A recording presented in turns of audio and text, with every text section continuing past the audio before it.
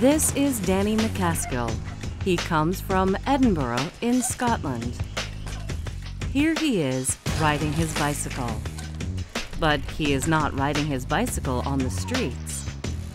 He is riding on walls, stairs, anywhere. He can jump from one wall to another wall.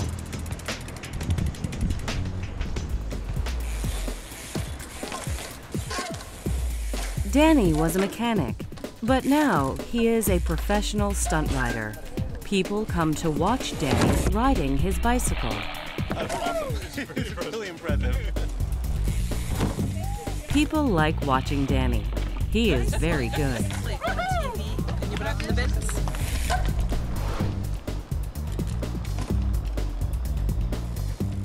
Can you jump from the wall to the mailbox? No, but Danny can, even on his bicycle. Danny says that he sees the streets of Edinburgh differently now. He looks for more difficult places to ride his bicycle.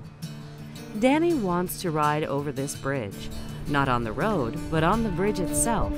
It is a challenge, a difficult challenge. He tries many times and at last he climbs onto the bridge. Now he is riding up the bridge. But Danny has a problem. Riding up the bridge is easy, but it is difficult to ride down the other side.